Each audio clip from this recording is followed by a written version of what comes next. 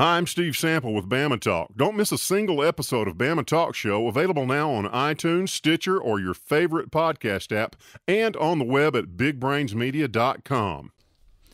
It's the Weather Xtreme video. This is for Wednesday morning, March 27th. I'm James Spann. Man, it's cold this morning. A lot of folks, in fact, almost everybody in the 20s. A slow warm up coming ahead, uh, coming up in the days ahead. And by the time the weekend gets here, a little rain to deal with. Uh, we'll go in there and check some of the Skycam shots around the network. These were captured at the insane hour of 5 a.m. That's the Inverness Skycam. Hey, 280 wide open, as typically is the case at 5 o'clock. And it's cold. Here's a look at downtown Fayette and way down south in Escambia County. There's a look at downtown Atmore. Well, the big trough over the east is slowly lifting out, and that means a warming trend in coming days. It'll be a slow process, but we'll get there. But man, look at those numbers. Are you kidding me? At uh, 5 o'clock this morning, it was 24 in Haleyville, 25 in Cullman. Ouch. Spring break week for so many. 20s for Birmingham, Anniston, Gadsden, Tuscaloosa, even Montgomery at 29. And around the nation, again, there's no place to hide. Even Miami, Florida has dropped into the 40s this morning as they are shivering. And again, some folks up on the Canadian border below zero. There's a look at the watch warning map. Basically, it's all freeze warnings for the deep south this morning. And even tomorrow morning, uh, while most places will be in the mid 30s, the colder pockets will go below freezing again. And the rain for the next seven days. This carries us through Wednesday morning of next week. The numbers are starting to ramp up uh, with the amounts of one to two inches here. And uh, we definitely will be trending wet as we approach the weekend. This is the OZGFS valid at 1 o'clock local time this afternoon. Big trough over the east is starting to lift out. We still have a dry northwest flow aloft. The sky today will be sunny. And hey, a good chance we'll hit the 50s today. That's still 15 degrees below average, but we're moving in the right direction. Tomorrow morning, again, I think a lot of folks are going to see a light freeze. Not everybody, not as cold as this morning, but uh, I'd say lows between 30 and 35 for most spots.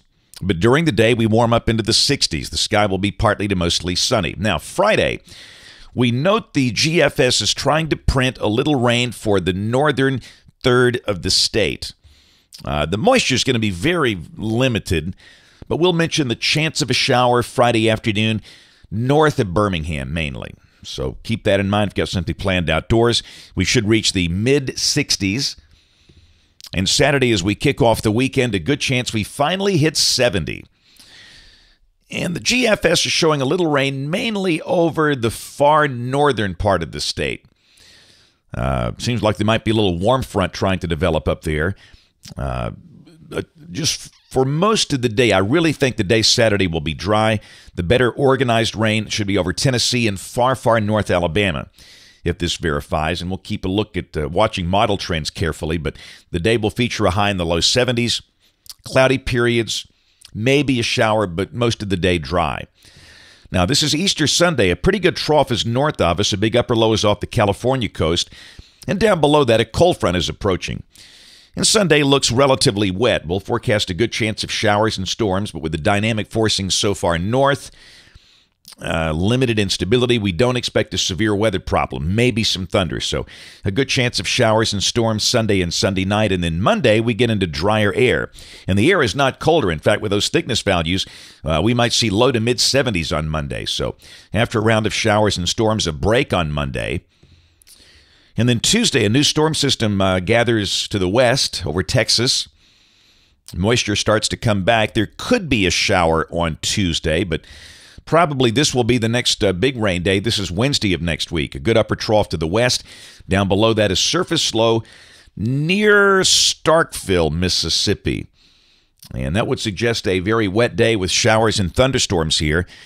And we'll just see have to have to see how it, you know, how the mesoscale features evolve, that would suggest maybe some severe weather with good upper support. Uh, the high should be in the low to mid 70s if this is right. There should be decent instability. Just something to watch. There's no way today you can resolve this a week in advance.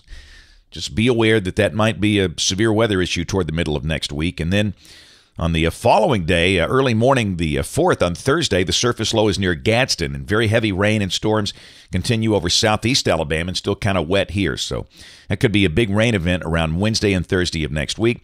We'll check the end of the forecast on the 11th of April. That looks dry and mild.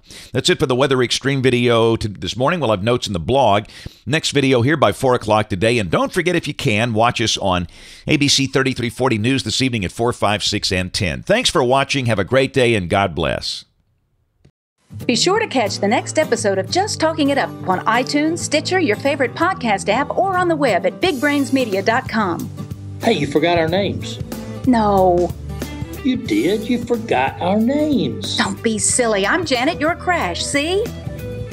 She's just like a goose. She wakes up in a new world every day.